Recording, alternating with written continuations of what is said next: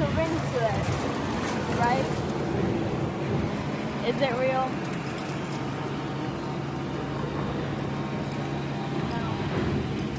Could it be? Maybe. Who knows? We want to believe in in something that isn't real, but we want to but we want to believe in it because because it's it's something to hold on to. Something that that's an escape from who you are.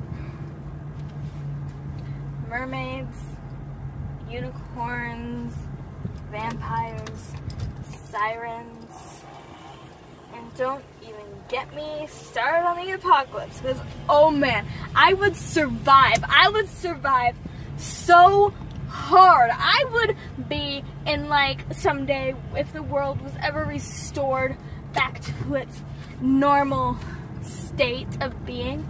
Um, I would be put down in the history books best survivor of all time. But it won't happen. It's not real. None of it is real. Vampires aren't real. Unicorns aren't real. And as much as we want them to be real, they just aren't. And that's just how life is. They aren't real. I'll never I'll never be a mermaid. I won't have a pet unicorn or a vampire boyfriend or or a best friend who's a witch. Who knows? Maybe maybe someday maybe someday it will be real. Maybe a fairy will fly over a field of werewolves or There'll be an eclipse or something that that will make it all real. But it's not going to happen. And maybe we can all get those three wishes, but it's not real. It can't be real, right? Don't know. Maybe, maybe I'm overreacting. Nothing can be real. I mean, nothing mythical or magical can be real. Life is real. People are real. Maybe a little stupid people are.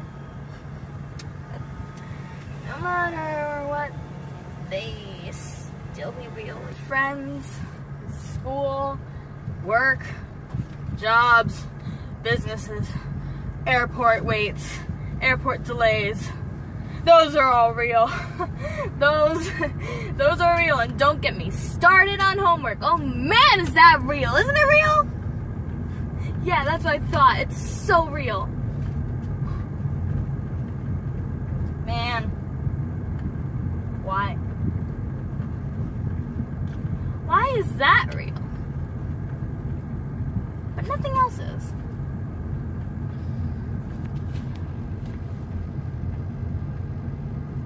Man. I never thought I'd say I wish homework wasn't real. Hey guys, I'm Harley.